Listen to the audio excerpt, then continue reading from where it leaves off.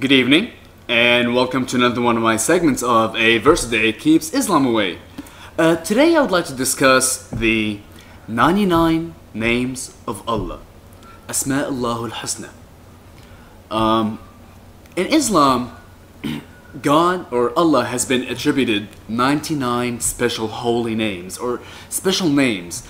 They're attributive names. And the way they get these names is by going through the Quran, and a lot of times instead of, referring to Allah as Allah, he is referred to by some sort of adjective. Now, there's a lot more than 99 names in the, or 99 attributive names for Allah in the Quran. So they went around and picked what they considered to be the most important or the most essential 99 names. I'm just gonna share with you a few of those names, uh, some of which include Al Quddus, uh, the most pure, the most holy, the most perfect. As-Salam, the peace, the blessing, the peaceful one. Uh, Ar-Rahman, which is the most gracious, the compassionate. And Ar-Rahim, the most merciful, or full of mercy.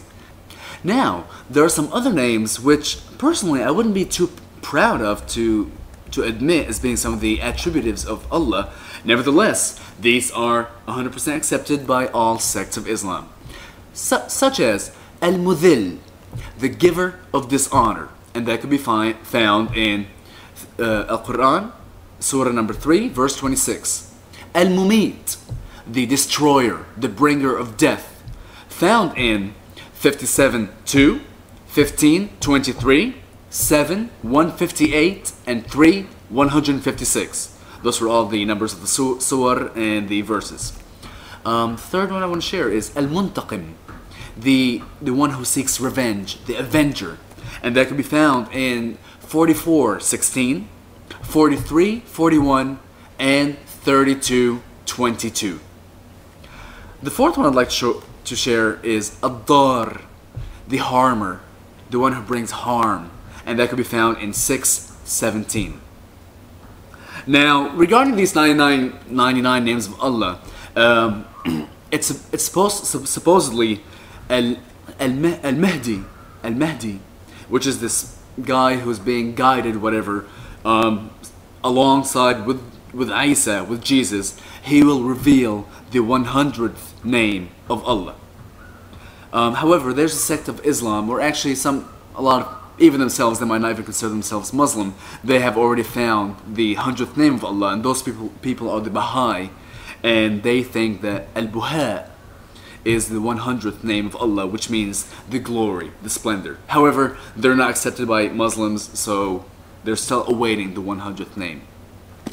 Now, I want to tell you that I am your Mahdi. I am going to share with you the 100th name of Allah so that you may know Him and get closer to Him. Allah's 100th name is Al Makir. Al Makir appears in a few verses, but the one I want to talk to you about primarily is verse um, is Surah number 3, verse number 54. وَمَكَرُوا وَمَكَرَ اللَّهُ وَاللَّهُ خَيْرُ الْمَاكِرِينَ Al-Makir means the sly one, the deceitful one. However, unfortunately, it is not translated as such into English. That means they were deceitful and as was Allah was deceitful and Allah is the greatest of those who are sly and deceitful. That's how it should have been translated.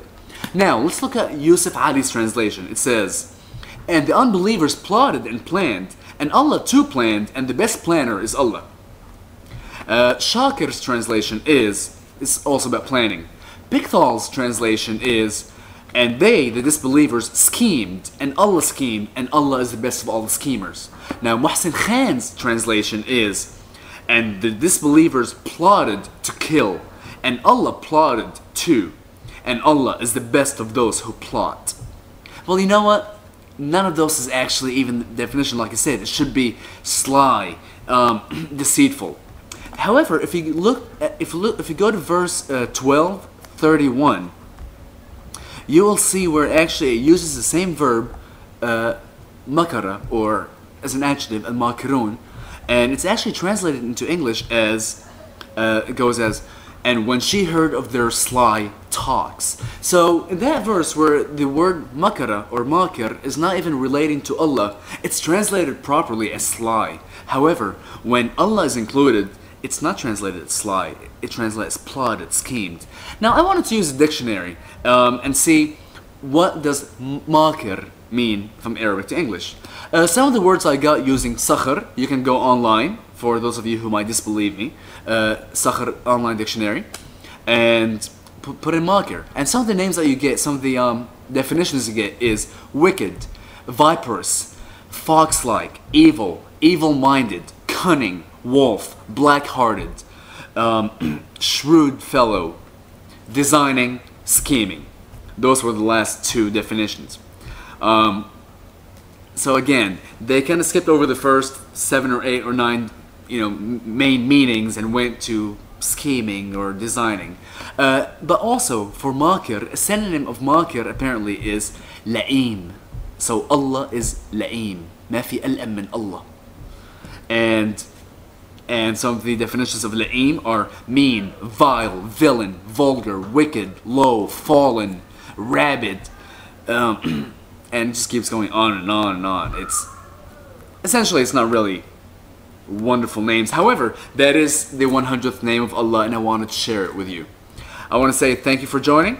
You have a wonderful evening, and that's all I have for today. Bye.